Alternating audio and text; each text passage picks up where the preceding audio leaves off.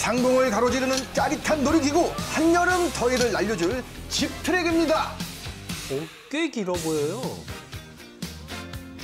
300m에 달하는 길이에 살짝 긴장이 됐어요. 아 무서웠어요.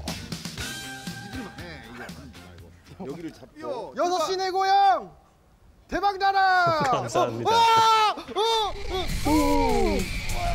칠갑산의 맑은 공기를 마시며 멋진 풍경도 만끽해 봅니다. 오, 여유 있으시네요.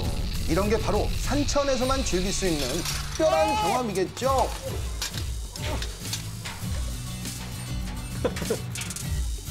이 집트랙 집 집 집트랙 짚라인. 짚라인 짚라인.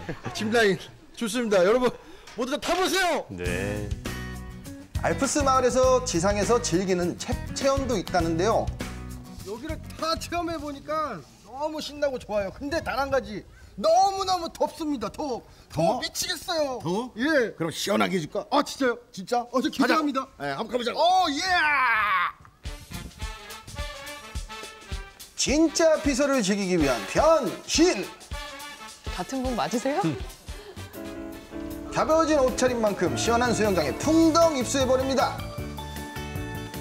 어우, 수영장. 알프스 마을에서 운영하는 수영장은 칠갑산의 시원한 계곡물로 채워졌다는데요.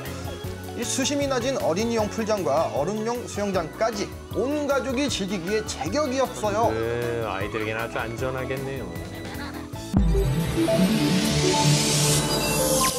KBS